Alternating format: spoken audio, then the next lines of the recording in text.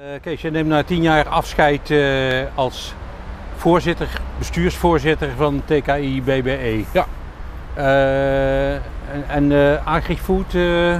Dat blijf ik doen. Dat blijf je wel doen? Dat was ook altijd de grootste. Ja.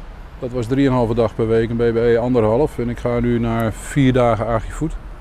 Oké. En een dag minder werken. Ja. En dat is gewoon de leeftijd en een major life-changing event. Zoals we dat bij gezondheid en zorg zeggen. Ja.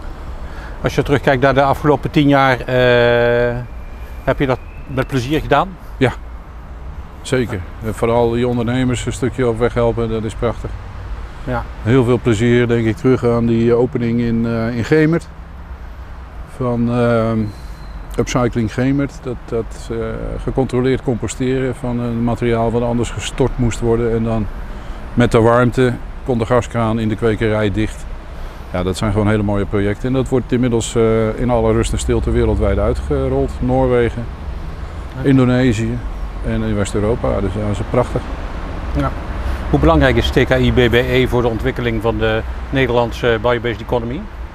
Ik denk dat het goed is om er een, uh, een onafhankelijke entiteit voor te hebben. Uh, die de agenda beheert en bewaakt en ook uitvoert. Daar zijn we ook voor, dat is de taakomschrijving.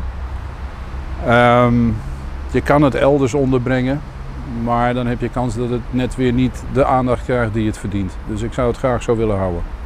Ja, Oké. Okay. Wat, uh, wat voor eisen zou je stellen aan jouw opvolger?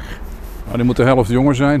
dat is een ja, je moet toch wel enige vorm van uh, affiniteit ermee hebben, dat is één.